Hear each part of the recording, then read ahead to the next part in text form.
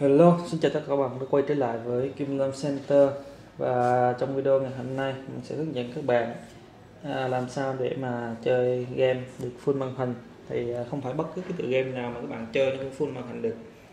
Thì hôm nay mình sẽ hướng dẫn các bạn à, làm sao để chơi được full màn hình ha. Thì nó có hai cách. Thì cách đầu tiên các bạn chỉnh à, cái này bạn chỉnh scale full ha thì uh, mình sẽ hướng dẫn bạn chỉnh à, như sau. Thì các bạn click phải chuột ngay màn hình này. các bạn chọn graphic option ha các bạn.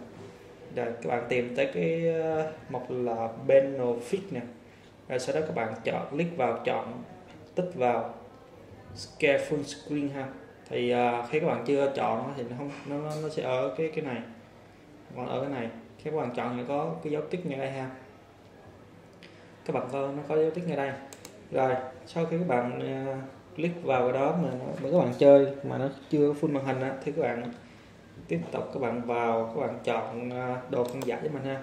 Thì đây bạn chọn lại setting ha. Rồi đây các bạn chỉnh lại cái đồ phân giải cho nó phù hợp. Thì uh, mình đã có một cái video riêng nói về cái việc cái cái cách để mà chỉnh độ phân giải của màn hình này rồi ha. Thì uh, cách và bước tiếp theo sau khi các bạn nếu các bạn chọn xong độ phân giải rồi thì à, các bạn làm sao? Bạn chọn vào graphic property. Click phải chỗ lên màn hình ha. Các bạn chọn graphic property ha. Ok. Xong các bạn chọn vào phần display. Rồi ở đây các bạn nó sẽ không có sẵn như đây ha. Có ở cái à, uh, mục scrolling nè. Thì uh, nó sẽ không có tích sẵn vào cái mục là score full screen các bạn ha. Thì các bạn sẽ click vào đây click vào cái mục này. Xong các bạn chọn vào là ở dưới cái mục này nè các bạn chọn vào override application setting ha. Tức là nó sẽ ghi đè lên cái ờ, setting của cái cái cái cái app hoặc là cái game của bạn chơi đó. Thì các bạn chọn click vào đây. Chọn click vào đây ha. Click vào dòng này. Tích vào dòng này luôn. À, sau khi click xong tích xong các bạn nhấn vào apply. Rồi ok như vậy là xong ha. Thì uh, cách này ờ, nó cũng khá là đơn giản hay các bạn hiệu chỉnh nó trên cái phần uh, uh, graphic uh, property á, của ờ, uh, card rồi ok. Và cách thứ hai mình hướng dẫn các bạn chỉnh trong cái uh, phần là registry Editor ha. Thì à, các bạn vào registry Editor thì các video trước mình hướng dẫn các bạn vào phần đó rồi ha. Các bạn chỉ cần nhấn tổ hợp phím R các bạn gõ Regedit ha rồi mình nhấn enter. Nó hiện ra hộp thoại mình nhấn yes ha. Rồi nó mở ra cái hộp thoại này ha. Mình sẽ thu lại để mình uh, hướng dẫn cho các bạn. Rồi khi cái cửa sổ này mở ra các bạn tìm tới cái mục là HK Local Machine ha. Bạn sổ ra xong tiếp tục bạn tìm tới cái mục là system các bạn sổ một system này ra ha. Rồi trong một system này nè nó sẽ có những cái mục này. Các bạn tìm tới là cái mục đó là control set 001 rồi trong cái control set 001 này các bạn sổ cái dòng control này ra ha. Sổ dòng control này ra. Sau khi các bạn sổ cái dòng control này ra các bạn tìm cho mình đó là cái graphic driver. Đây graphic driver đây ha các bạn? Rồi sau khi cái đây còn tìm thấy cái này rồi bạn sổ tiếp cái này ra ha. Rồi các bạn tìm tới một là configuration ha. Thì uh, các bạn à, sổ hết mấy này ra. Trong cái mục này các bạn sổ hết những cái này ra. Cái nào mà có cái thư mục 00 này các bạn sổ hết ra. Các bạn click vào đây. Các bạn tìm tới cái thư mục là scrolling này ha. Mình click đắp chuột vào thư mục scrolling. Các bạn thay đổi cái à, cái cái cái uh, giá trị nè.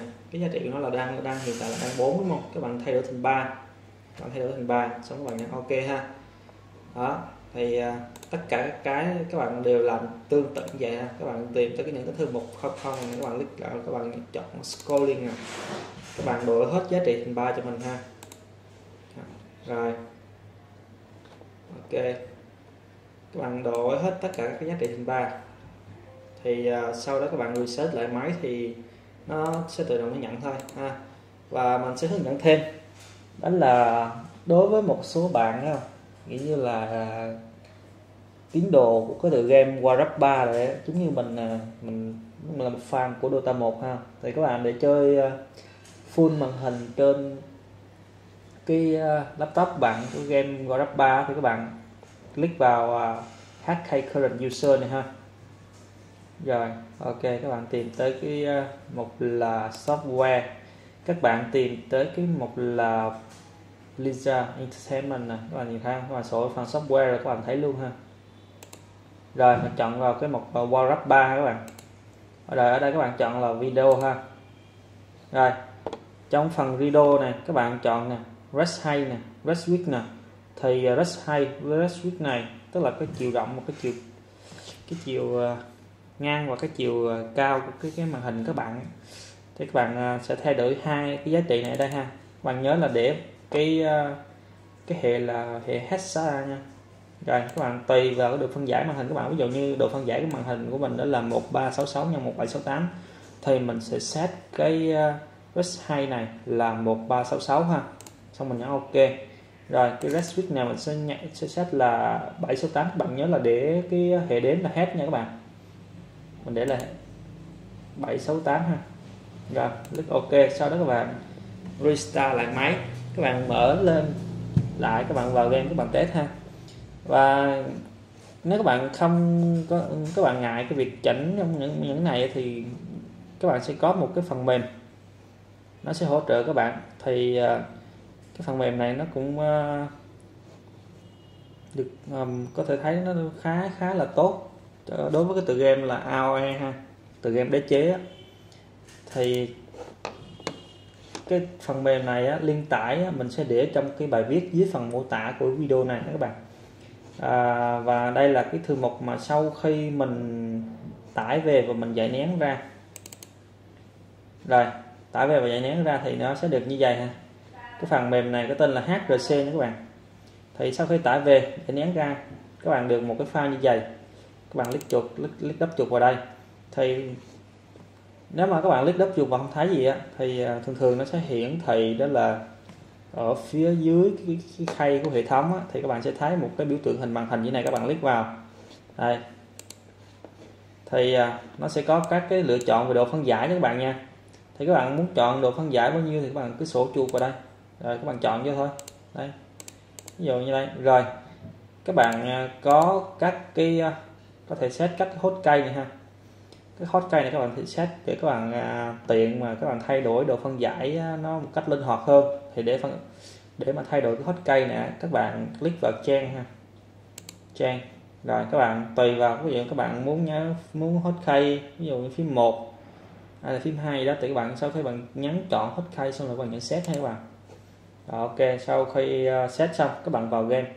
Rồi các bạn nhấn cái hot key mà mình đã set sẵn đó để nó thay đổi cái độ phân giải thì à, à, mình đã hướng dẫn cho các bạn là làm sao để chơi game full màn hình. Thì tùy vào các cái game cũng như là các cái phần mềm mà các bạn à, có cái cách uh, tùy chỉnh một cách uh, hợp lý. Thì nếu các bạn à, thấy cái video này của mình hay thì uh, các bạn hãy uh, like và share để mọi người cùng xem để các bạn ha.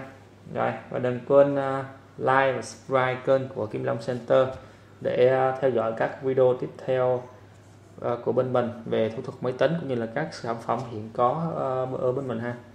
Và xin chào và hẹn gặp lại các bạn trong các video tiếp theo.